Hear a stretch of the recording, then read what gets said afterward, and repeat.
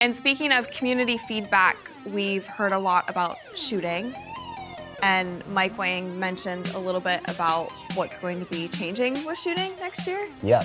So shooting's something that the community has been talking about all year long. I think ever since the introduction of green releases, a lot of fans have a lot of different kind of feedback about that. I think they've kind of learned to use it as a crutch. Like if I learn my release and I think the bar is filled up, I should make that shot 100% of the time. But we were seeing a lot of really high shooting percentages, high 60s, high 70s, even some of the high 80s and 90s in Pro-Am. I think when we start going forward into 2K18, I'm really glad that the producers are looking towards what made shooting fun and realistic in previous games, because there has been a lot of, you know, differences game by game on how shooting works. But I'm really excited to see what they come up with in 2K18, because I think we're going to see a lot of improvements there with shooting.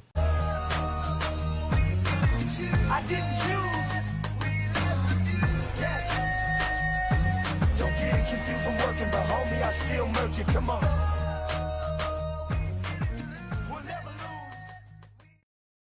All right, ladies and gentlemen, real quick, real quick. Uh, unless you've been under a rock lately or just been out of town like I have, man, uh, you've seen that uh, they're saying that people are relying too much on the on the bar and all of that good stuff, man. And uh, I'm not inclined to disagree because I've seen more good shooters in 2K this year than anywhere. So what they're saying is, I guess, is that people can time it perfectly. Uh, so so what they're going to do is, what they're going to do, they're going to remove the bar. I don't know if they're going to remove the bar. I really don't know what they're saying they're going to do, right? But to get yourself ready for this, because I, all I keep seeing is people saying, well, I don't use the bar anyway, I don't use the bar anyway, I don't use the bar anyway. Well, you don't have to use the bar. But then the then the overwhelming excuse, and, and yes, I am giving away a Kevin Durant jersey uh, later. Uh, but the overwhelming excuse is, but I like to see the greens or whatever like that. Well, you can do like I do. Um, I mean, people keep saying that, but the only people I saw to do do this last year was me, CL Pride, and Man Man Grind Hard, and that was actually turn the bar off, but have it on feedback only.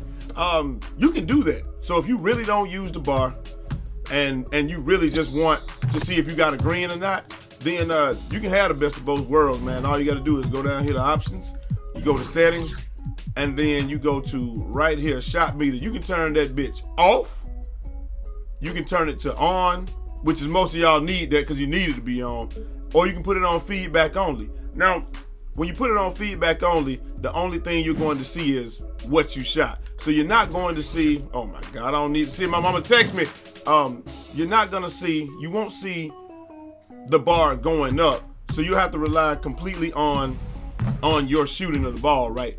Uh, on the biomechanics or the mechanics of the player uh, at the top of the jump. Since that's what everybody's saying that they do anyway. I don't even use the bar anyway. I just like to see the green light. Well, if that's what you want, boom, that's what you got. You'll see what you shot, but at the same time, you won't be. You, we know you won't be relying on the bar. Now, I'm gonna turn this mother son of a gun off for the rest. Of, green light. I'm gonna turn this mother son of a gun off for the rest of the year. I'm not gonna use it anymore because I'm not gonna get accustomed to something and then they just completely take it away in the next game. Like I said, you can turn this, you can take the bar out the game for all I care. I mean, I really don't care. Mike Wang changed my shot every day anyway, so I don't, I really don't care. You can take it all the way out of the game. I'm just saying that if you really don't use it, like me, um, just go ahead. And this is my playmaker. This ain't even my sharpshooter. If you really don't use the bar, then just go ahead and turn it off and then you can still get the green lights. So if you if you say that you really don't use it, it shouldn't be a problem. But I think that a lot of people when they turn it off, they're going to realize how much they really do use that bar and how much they really do do rely on it. I'm just trying to help you get ready for 2K18, man. This is the best way to do it right here. Turn the bar off, go ahead and just get used to your jump shot. And it does feel like that it's more forgiving when you have the bar off anyway. Me and Pride was talking, not, not me and Pride was talking about that, but Pride was saying that last year uh, in one of his videos. He was like, it seems like you get more greens when you turn it off, and it seems like you get more um. It seems like you get more greens when you turn it off. And if you shoot with the shot stick, um, I don't think you get that feedback, but uh, it seems like you get more greens when you turn it off and it's more forgiving. So like that right there, that wouldn't have gone in if I had the shot meter on. I promise you. The all white bricks, they never go in. But it is what it is, man. This is just a quick tip, a way for you to get ready for it, man. Um, hopefully it helps somebody out. And like I said, to me, I used to turn the bar off because the bar was annoying. And then I just thought about it today. I was like, why don't I just turn it off? Because it is annoying. Because sometimes when you can't see it, I think what most people are going to find is they are using a combination of the bar and the player's mechanics. Because I used to do the same thing. But now that it's completely off, I can concentrate. You see these greens, man? I can concentrate completely on on the player shooting and I'm good. Anyway, man, hope y'all enjoyed it. Hope it helped you out. Look at that, 18 out of 19 from the dime Hardaway. Let's take one from the top. Cash, Green Bean, Money Team. Look, I told you I don't need that thing, man. Oh my bad, y'all can't see it. Y'all see this Kevin Durant jersey, right? 19 out of 20, man. Probably had like 10, 15 greens. I don't know. But uh, oh yeah, speaking of the Kevin Durant jersey, man, I'm giving this away once I get to 100 subs on Twitch. So y'all come on through, sub with Twitch Prime um, on Twitch and do whatever you got to do, man. And I'll see y'all in the next one. Till next time. It's your boy Jai Eazy, aka Fresh from the Barbershop, BK the People's Champ. Holla!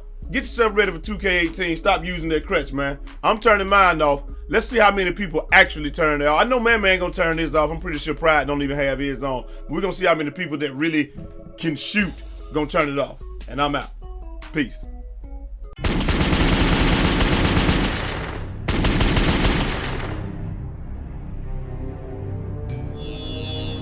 That was so fucking epic!